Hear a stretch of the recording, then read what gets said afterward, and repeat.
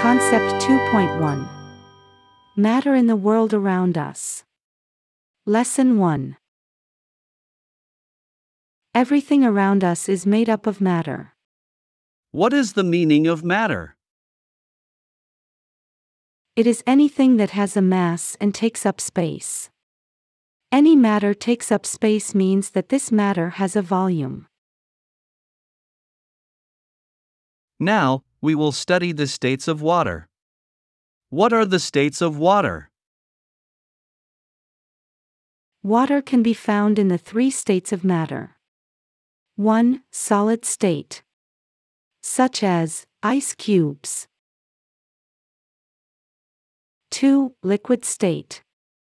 Such as water flowing out of the tab.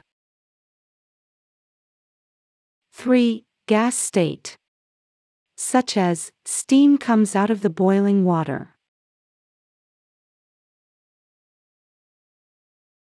More about matter. From the previous explaining, you have learnt that everything is made up of matter such as people, trees, mountains, air, and water. Each matter has its own properties. What is the properties of matter? Properties of matter include 1. Color. Matter may be colored with one color, many colors, colorless, no color. 2. Size, volume. Matter are found in different sizes bigger than our planet. So small, you cannot see them, such as germs. 3. Temperature. Some matter can be cold, hot. 4. Shape.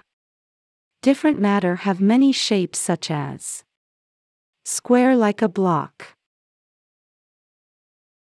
Round like a ball. 5. Hardness. Matter may be hard like a brick, soft like a feather. Notes Examples of solid matter ice wood, stone, iron, sand.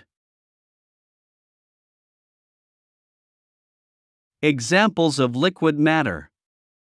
Water, oil, milk, vinegar,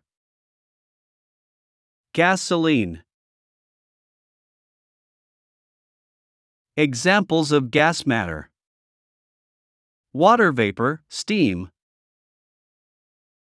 air, oxygen, carbon dioxide.